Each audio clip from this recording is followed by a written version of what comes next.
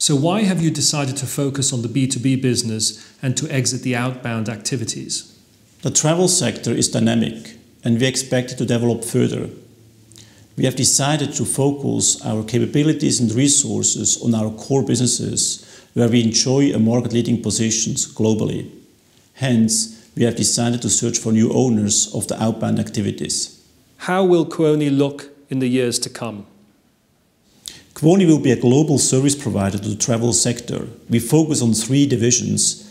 The first one and the largest one is the Global Travel Distribution division, where we, for example, have 40,000 room nights which are booked online on our database. The second one is the Global Travel Services, where we, for example, serve tour operators in Asia when they bring guests to Europe.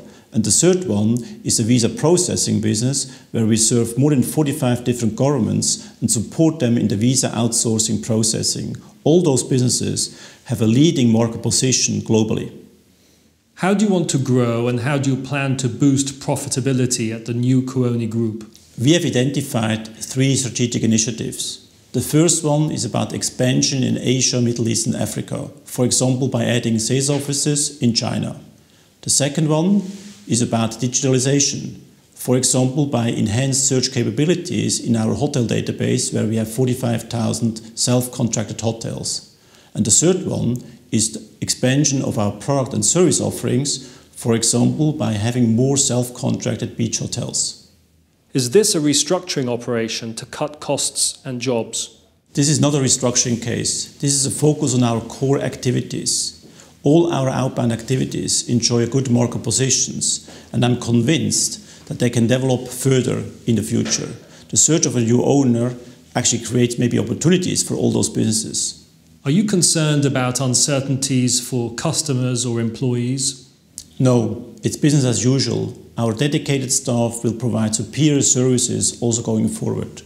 All current and future bookings are not affected. Who will acquire the outbound business and uh, when do you expect the transaction to complete by? The outbound activities have a good market positions and we expect it will attract a wide range of potential new owners of their businesses. We go for a step-by-step -step approach. We are not in a hurry to sell those businesses and we expect to close the search of the new owners in the course of 2015. If we look ahead a couple of years, where will this journey take Kuoni? The travel sector is expected to grow 3.8% in the coming years. We are focusing on core businesses where we have a global market leading position. We also have a very strong footprint in Asia.